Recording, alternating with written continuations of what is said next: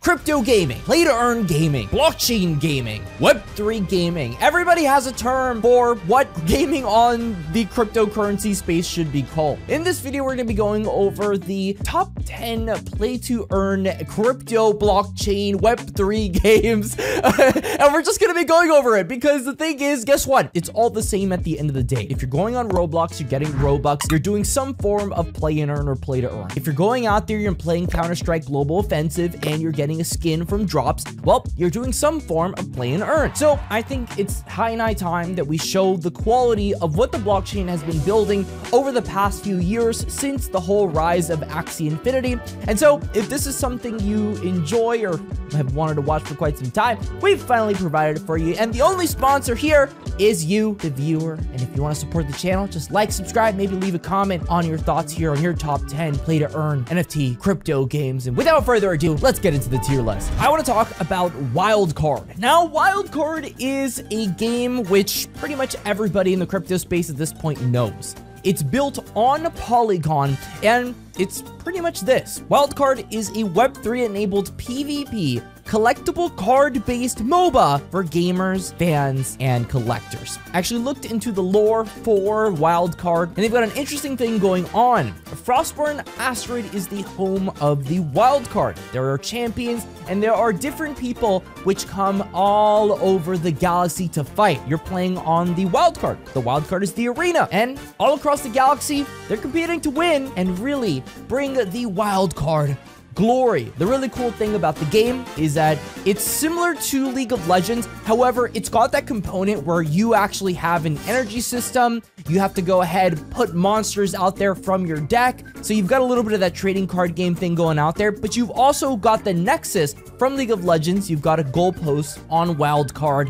and that is always the goal, right? To get there, to go destroy it. There are special abilities for characters, and there's a ton of cool things. And this game is really shaking up the space right now. So definitely the first game I wanted to mention. In terms of the second game, I want to talk about Dr. Disrespect. He's a really big creator, and he's a heck of a lot of a tall man. Dr. Disrespect is now in the process of building Dead Drop. This is a vertical extraction shooter, the first of its kind. You have to go ahead, grab items, and extract them. Once you extract them, those become yours permanently. And yeah, you can spawn in with the fully loaded loadout. You can go ahead and spawn in eh, with nothing and then come out with a bunch of cool guns. You can come out there with skins. You can come out there with obelisks. You can come out there with floppy disks. You can come out there with literally everything. The goal is to get to the top, the Pico top, kill all your enemies, and win the coveted Dead Drop. Now, in terms of the next game on this list, Illuvium. Illuvium is a triple A game. when we're talking about triple A, I mean triple A. They're doing so many different things here. It's going to be an open world exploration game. It's going to be a city builder game. And it's going to be an auto battle on the Ethereum blockchain. People hate Ethereum, but they're building on Immutable X, so that's gasless. Everybody loves Immutable X on Ethereum. These games are called Illuvium Overworld, Illuvium Arena, and Illuvium Zero. Illuvium Overworld actually recently just started their private beta 2. It looks pretty incredible. Illuvium Arena, it's an auto battler. If you've ever played Dota 2 Auto Chess or TFT, you're going to know how this game looks. And Illuvium Zero is your mobile-based game where they're going to have land functionality. This game is going to be coming out later this year, so definitely not one you want to miss. Now, the next game on this list is Spider Tanks. Now, Spider Tanks is a three versus three multiplayer online battle arena game where you get out there and you prove that the chickens are not the fiercest of them all. Instead, you are the fiercest of them all. You have to go ahead, kill people. You've got a bunch of different objectives. You've got Chicken Chaser, where you go and deposit chickens into a barrel. You've got Poultry Pusher, where you push a chicken to the end of the map and stop the enemies from doing the same thing. Team Deathmatch, Kill Confirm. And so there's a lot of really cool, innovative gameplay modes that they're featuring. And overall, with the idea of ownership and earning victory points to then upgrade your tanks and do a bunch of different things, Tanks is doing it better than the rest of them on the MOBA genre right now. Now, the next one on this list is really cool. It's called Grand Saga Unlimited, and it's being built by Metapixel. This is a Korean studio building on the Aptos blockchain. This is not something you hear every day.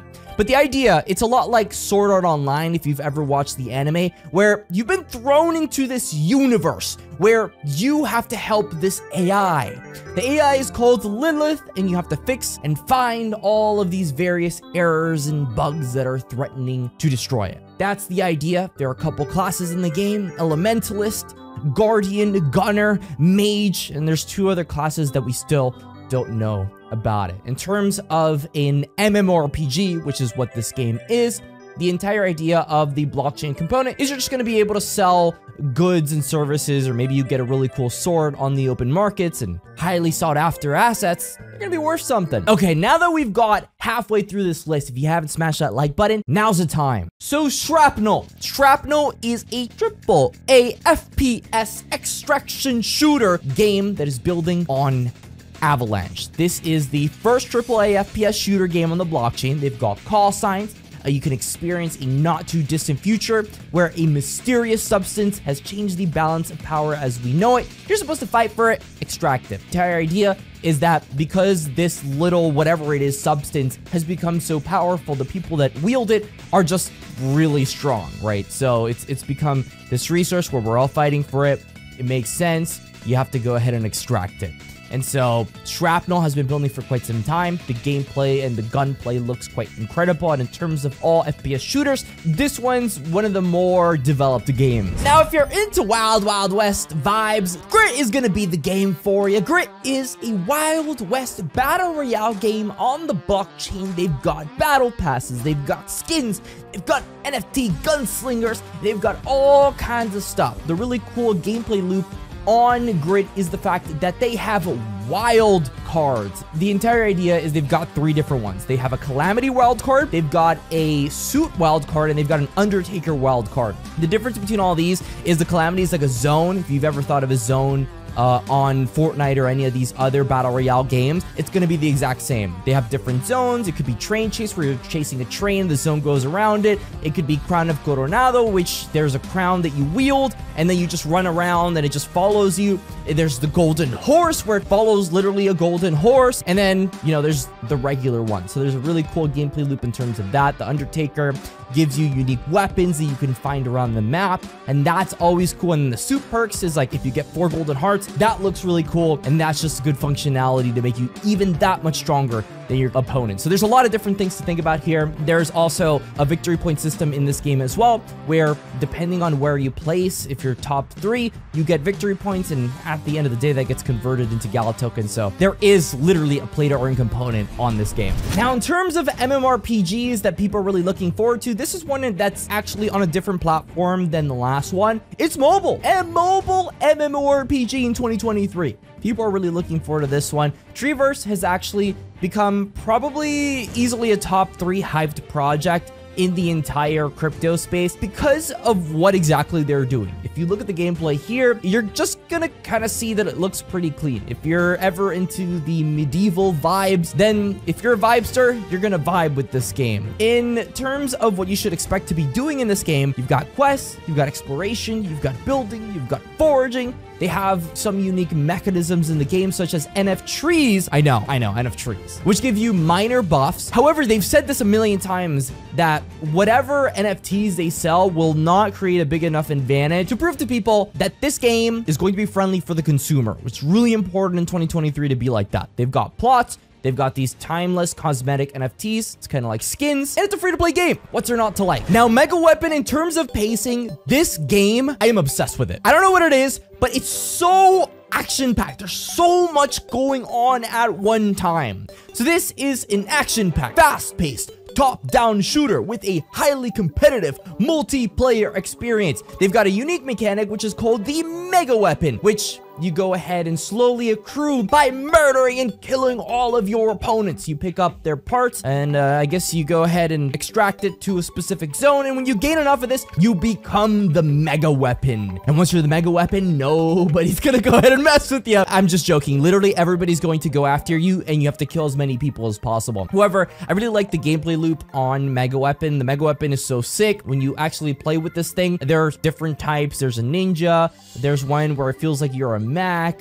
And overall, it's just a gameplay loop that I like being a part of. It's really fast. They've got different game modes, the traditional ones you'd expect, you know, a free-for-all team deathmatch and domination, which is pretty much just capture the point. Now, the last game I'd like to talk about is called Metalcore. Now, Metalcore is the most expensive of all of the games on this list, and there's a good reason I left this for last, because there's a little bit we want to talk about here. There's mechs, infantry, aircraft, vehicles. It's got first-person combat. It's got third-person combat. It's got territorial warfare. It's got co-op PvE and large-scale player versus player combat. Eh, you can win vehicles, machines, craft gear, recruit pilots, develop land, sell and trade gear, and much more as players battle for planetary domination. There's a war of the galaxy, and we need you to be a part of it. That's why Metalcore is the last game on this tier list. And with that being said, I hope you enjoyed this quick rundown on the top 10 play to earn NFT, crypto, blockchain, literally any crypto term you'll put at this time uh, game. I just think it's incredible that we've gotten to this point where there's so many games that actually look good and play well. And it's not like they're releasing in 30 years, right? It, they're releasing pretty soon, most of these, if not been already released. And most of these games are going to be friendly for people playing. And I feel like 10 years down the line, we're going to look back at this moment and be like, why weren't gamers playing to earn or whatever they were doing and being able to just sell assets in general from the start? It's just going to be weird to them. So I hope you enjoyed this video. Until the next time, we keep fighting for you. All we ask is a like and a subscribe. And until the next time, stay classy. And that's all.